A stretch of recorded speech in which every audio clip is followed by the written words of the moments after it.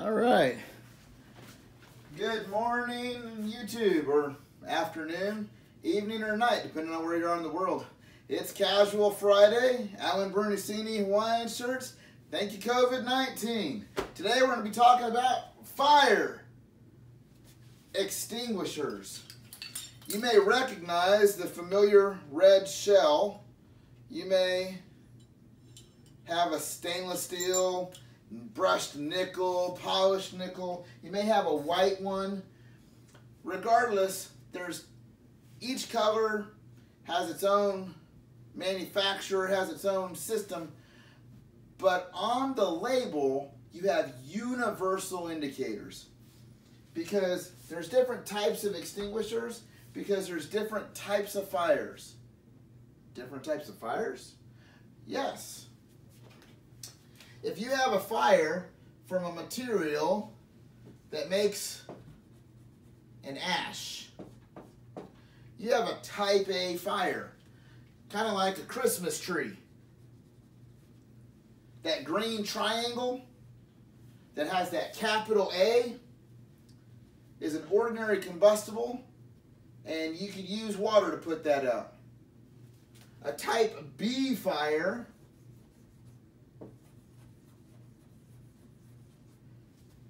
a fire a, from a fuel that you would find in a bottle or a barrel.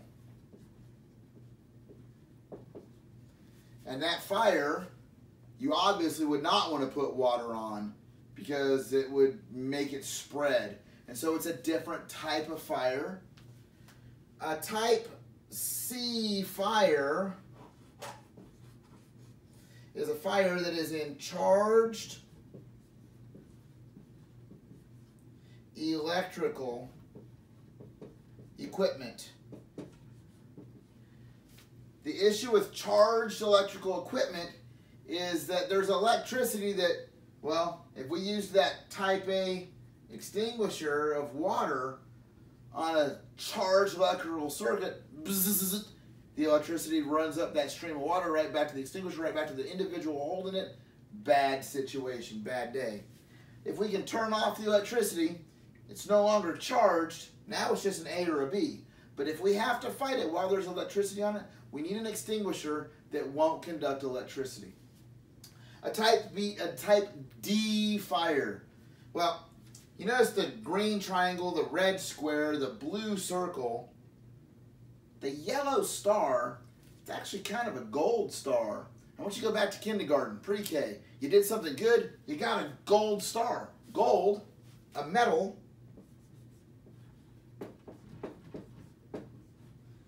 Type D fires are those flammable metals. You're not going to see an extinguisher for type D fires. And we'll talk about that in just a second. But let's talk about our last one. This black hexagon with the K inside. The K is for kitchen. And the reason why we have a kitchen extinguisher, the majority of kitchen fires are either from a charged electrical issue or an oven or a frying pan that we left on the stove. And if you were to spray a type B extinguishing agent onto your stove, the fine powder that gets shot out of that extinguisher at high speed makes its way everywhere. Your closed kitchen cabinet, your closed dining room china hutch is going to have this fine extinguishing powder, this dust everywhere. And your HVAC, your air conditioner, is going to have this powder shut down your filter and it's going to have it all over your house. So they came up with a fire extinguishing agent that's similar to water but it puts out that kitchen grease fire with the addition of a little additive. It's called a uh, surfactant. And we won't get into the, the chemistry of it all, but that surfactant will actually break the water surface tension down. It will make the water soak in, but more importantly, it'll actually break the oil down and saponify, big special fancy word, that means we're going to take that oil and we're going to chemically break the oil apart and we're going to make soapy water out of the water and some of the oil parts and close up the oil in a soapy bubble so that it doesn't burn anymore and it cools it down. So a, a type K extinguisher doesn't put the powder all over your kitchen and doesn't mess up your HVAC and doesn't mess up your house as much as the other ones would. But a fire would mess up your house much worse than any of this stuff that we've talked about. So no matter what you have, I need you to be able to put out the fire. So let's talk about an extinguisher. The extinguisher, whether it's a red, white, silver, A, B, C, or K, you'll notice I've got ABC on my extinguisher. But I've also got some pictographs down here. So you can see a trash can. You can see a fuel can.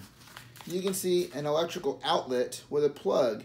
And if you look really closely, you can see a little triangle with a capital A.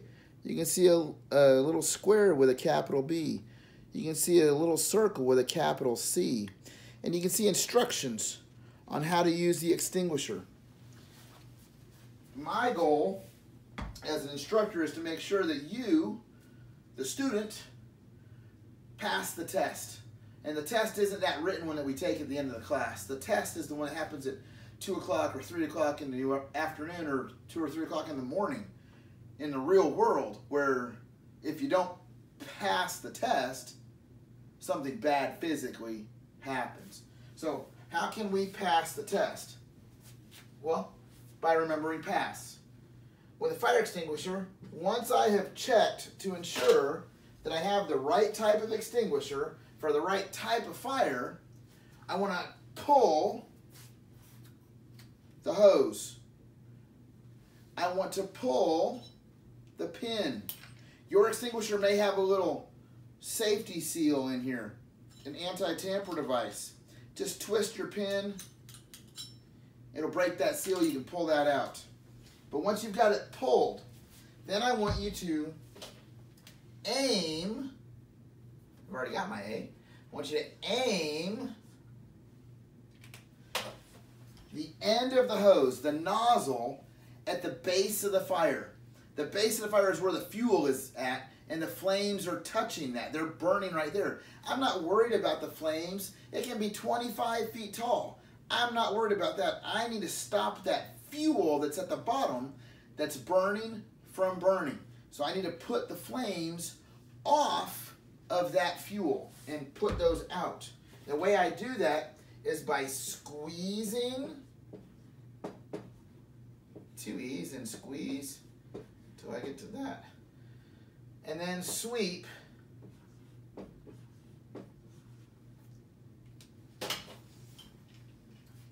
squeeze my trigger, this flap that's just, when I squeeze that down, the little button inside, the plunger, gets pushed down.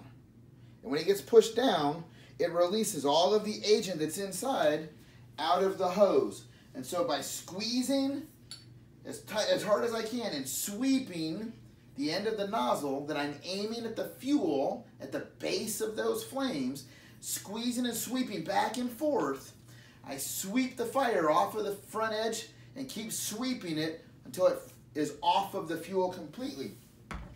And I have passed the test by extinguishing the fire. That's all there is to fire extinguishers. A, B, C, D, K, pull, aim, squeeze, sweep, and pass the test. Thanks for watching Fire Extinguisher Safety. I'm Glen Trahan.